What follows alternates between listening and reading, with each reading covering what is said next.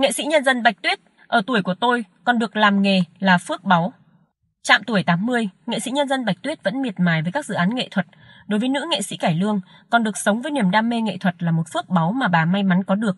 Sau thành công của Về nghe mẹ Du, nghệ sĩ nhân dân Bạch Tuyết có màn bắt tay với rapper Wowy trong dự án âm nhạc mới Tia sáng cuối cùng. Sản phẩm vừa ra mắt được xem là bước ngoặt lớn của cả hai trong hành trình sáng tạo nghệ thuật khi kết hợp giữa rap và nghệ thuật cải lương. Wowi chia sẻ anh đặt nhiều tâm huyết vào bài hát, từ khâu lên ý tưởng, sản xuất cho đến khi ca khúc được trình làng với khán giả. Anh và nghệ sĩ nhân dân Bạch Tuyết đều mong muốn mang đến một tác phẩm chỉn chu dành tặng công chúng.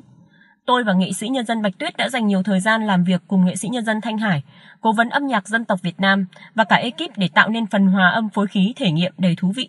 Anh chia sẻ, với nghệ sĩ nhân dân Bạch Tuyết, tia sáng cuối cùng được xem là minh chứng cho sự say mê hết mình với nghề của bà. Bà chia sẻ, ở độ tuổi 80 còn được cơ hội làm nghề là một phước báu lớn mà cả đời tôi luôn khắc ghi. Chia sẻ với phóng viên, bà cho biết người làm nghệ thuật phải hết mình, biết mình biết ta, tự đứng lên để giải quyết những cái khó của mình và đừng bao giờ phê phán người khác đúng hay sai. Cải Lương Chi bảo cảm nhận rất rõ điều này khi làm việc cùng rapper Wowy. Tôi thấy bạn sống rất thật nhưng không thô, điều này rất khó. Nhờ những việc tưởng chừng nhỏ đó mà có một dự án tâm huyết dành tặng khán giả.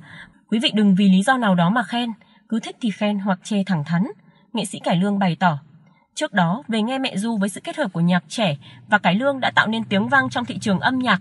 Nói thêm về việc ca khúc mới Tia sáng cuối cùng bị so sánh với bản hit cũ, nghệ sĩ nhân dân Bạch Tuyết thẳng thắn.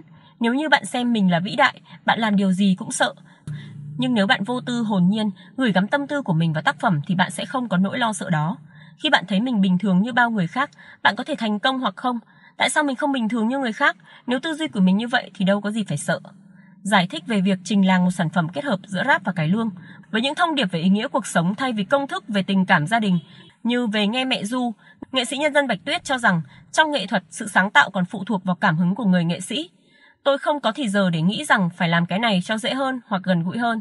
Nếu như khởi đầu của một tác phẩm mà đặt nặng chuyện sao cho dễ hơn, hay làm sao mau ăn khách, thì nó không có giá trị cho ai, kể cả người sáng tạo. Sáng tạo trong nghệ thuật đòi hỏi mọi thứ đều phải thật. Nghệ sĩ nhân dân bạch tuyết bộc bạch.